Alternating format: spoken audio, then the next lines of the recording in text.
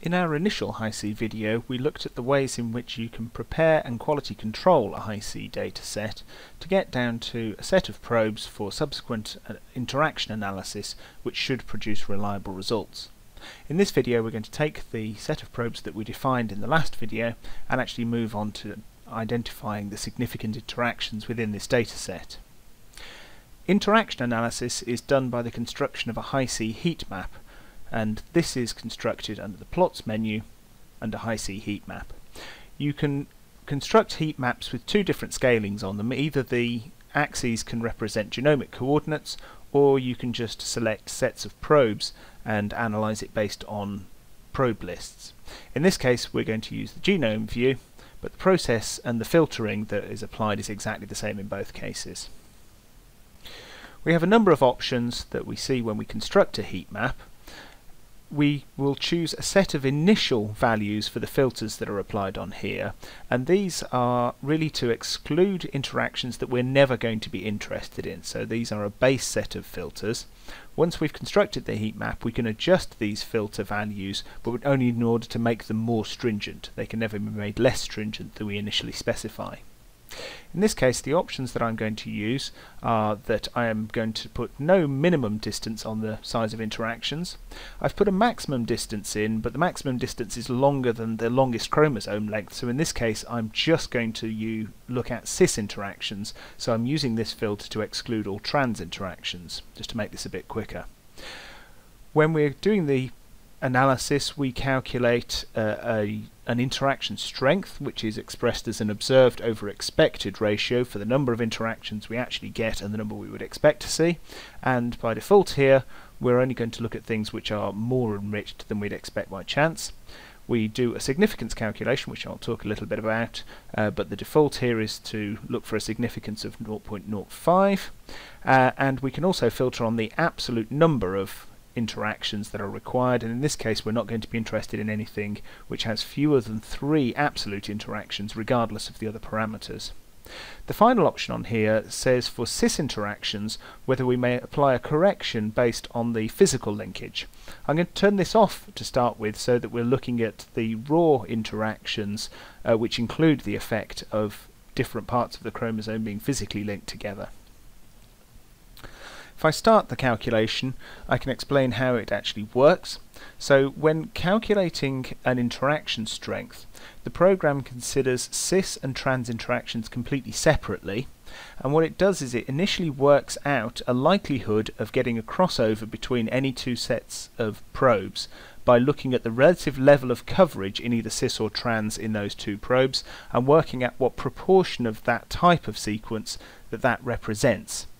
Once you have that expectation value for what the chance of any individual read crossing over between those two probes is, the program then uses a binomial test to say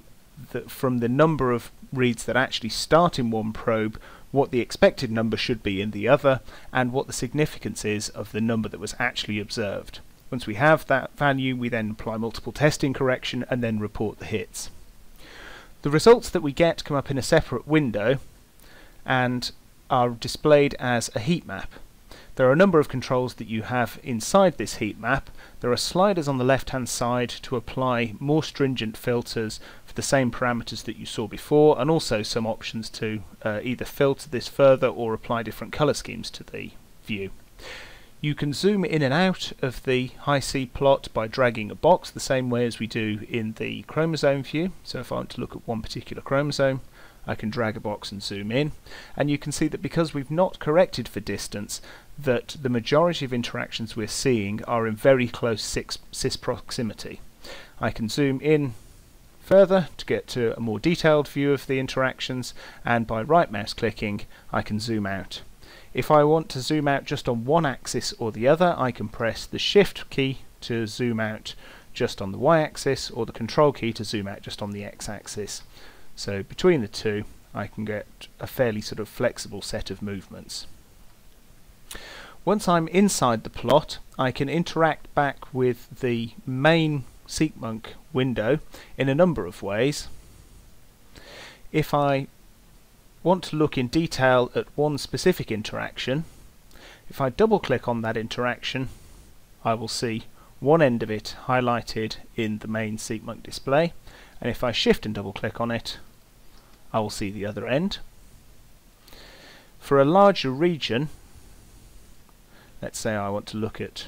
the front end of this chromosome here as long as the view that I have is completely contained within one chromosome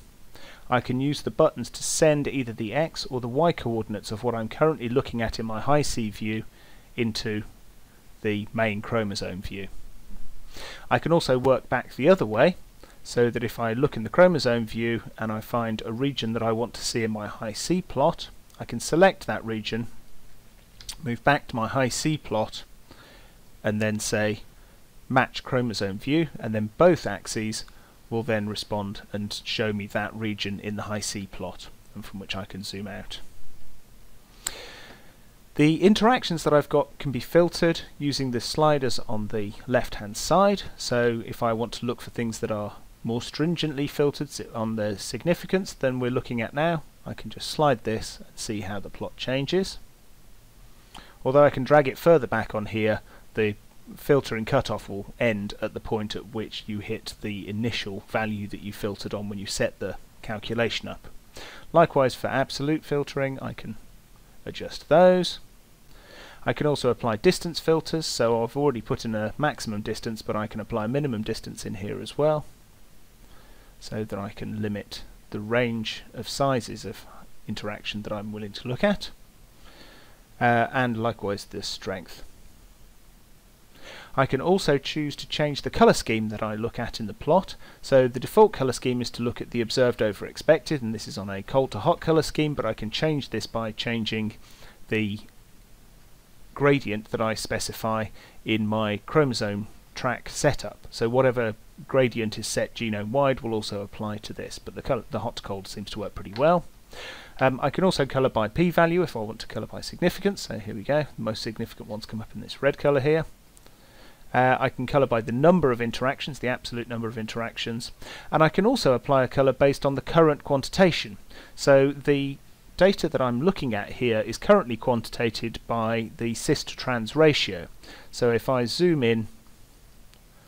on a region, I can then colour by the current quantitation and see those cis to trans values superimposed onto the display and that would apply to whatever I've coloured this by so if I want to colour by coverage or some other value then I can use that to colour my Hi-C plot so I can see exactly what's going on. Now because I've not corrected for distance in this plot I can see that it's highly biased by the physical connectedness of my points but that there are points that are much more distant but still significant. If I want to get a more realistic view of what the true biological interactions are, I can reconstruct the plot but this time I am going to correct for physical linkage. And all this does is that when calculating the expected value for uh, a crossover between two probes, it looks at the average likelihood of crossover between reads at those distances based on the overall profile of read distances across the entire Hi-C dataset and adds that into an extra parameter when calculating the overall likelihood. Other than that, the calculation is exactly the same. If I look at the plot with the distance correction applied, I should see that there is a much wider spread of interactions that I've lost a lot of interactions close to because those are taken out by the physical connectedness being removed, but that the significance of more distal interactions has increased. Same filters can be applied in here, and if I apply a stringent enough filter I can get down to a relatively small number of probes that I might want to investigate more thoroughly. So if I do this and maybe filter out some of the close cis and find some of the more significant external interactions, once I've got to a set of interactions that I want to pursue, I can make a report from this where I can now annotate those interactions with, let's say, the closest gene and get a report that looks similar to the sort of probe reports that I see elsewhere, except that these probe reports have two probes in, one for each end of the interaction, and information based on the observed over expected, the significance value, and the absolute number of interactions on here. Uh, all of these are interactive so that I can double click on any of these to see the appropriate regions within the genome when I'm actually looking at these. So this kind of report is an easy way to list the set of putative interactions that I'm going to work with. Another option that I can have is if I want to find a particularly strong interaction and then I want to look at that in more detail in my chromosome view. Let's say I'm interested in this particular interaction here. If I double click on this interaction I can find the probe that this comes from so this would be this probe here I can select that by filtering it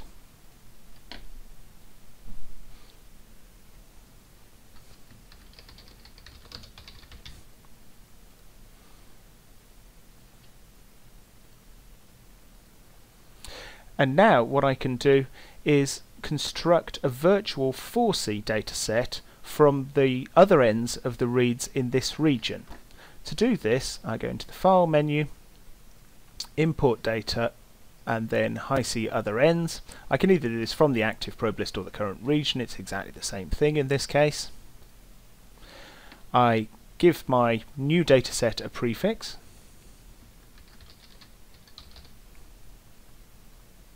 and it will make up a virtual 4C dataset from the other ends of the reads that exist at this position. I can now quantitate this if I want to and when I quantitate it there is a specific 4C enrichment quantitation which performs exactly the same calculation as we've just done for the Hi-C analysis, but just on this probe. So I essentially see the range of enrichment values for the other ends of this one probe. I can now look at the full set of probes for that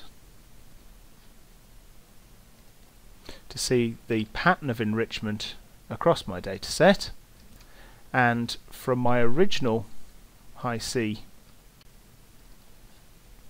interaction over here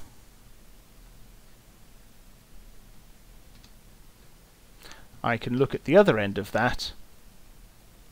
and see that this is the data that was found. These are the interactions that were pulled out from this other end region and I can see that there is an enrichment here and at this distance I can see that I have